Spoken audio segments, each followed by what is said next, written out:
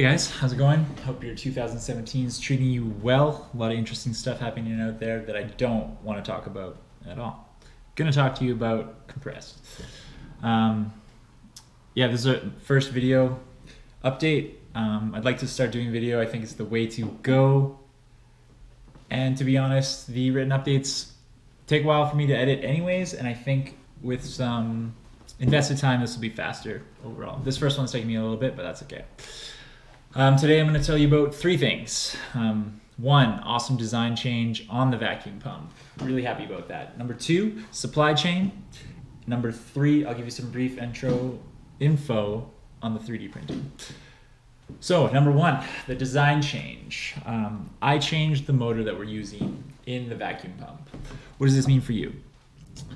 Well, the compression time used to be three minutes give or take a bit. Now it's two minutes every time. Super happy about that. It's a big improvement, and the vacuum packing is that much sweeter. How did this happen? Well, initially we're using a 12 volt pump and a 12 volt battery, and that seems intuitive, right? It seems like that's how it should work.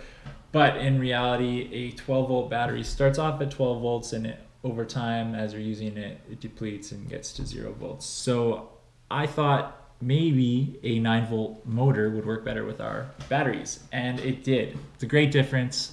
Two minute compression time. It looks faster, it feels faster, and it just sounds faster. Number two, supply chain. So we've placed bulk orders for some things, not for everything. We've ordered the compressors, the 9 volt ones. We've ordered the batteries and wiring harness. We've ordered the wall chargers. Um, we have suppliers selected for the vacuum bags and for the hoses. We just haven't placed the bulk order with them, um, but that's the next step.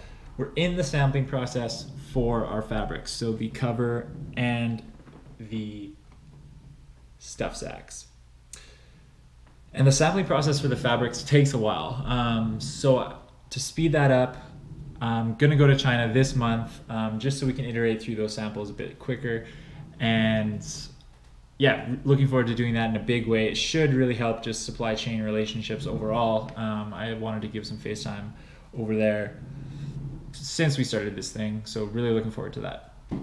Um, the other thing about supply chain is we have this guy Jackson. I mentioned him in the Kickstarter before. If you read, um, but he's just our guy on the ground. He's gone to factories for us and he's organizing a shipping container. So basically, everything in China is getting consolidated and sent to him at his warehouse, and he will then organize a shipping container to send to us um, for everything that we need.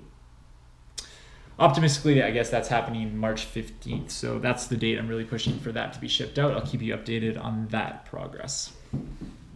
Number three, 3D printers. They're here, they're beautiful, they're incredibly satisfying to use. I am so happy to have those. Um, still finding the right settings. There's a lot of variables to change on those things. I would not recommend everyone get one. Um, yeah, there's just a lot of tinkering that you need to do. So I'm working on that right now. Um, I think I'll do a standalone post on 3D printing in the near future. Um, once I know a little bit more, I'd like to share some insights. Um, I've learned a lot already in a short amount of time. So yeah, thank you so much for backing the project. I would not be 3D printing stuff without your help. Um, here's a couple things that I've 3D printed so far. Um, this is a little keychain Marvin. This is like a plant pot Marvin. So if you grow the right thing in there, it'll look like a chia pet. And I've 3D printed this mini pump, which is kind of cool. Um, the benefit of printing something like this is it only takes like two and a half hours. So I can make some changes, see how it comes out a lot more quickly. Yeah, thank you again so much for being a part of this project. Um, really enjoying building these things. Lots of negotiations, lots of stuff happening. Super grateful. Thanks again. Bye.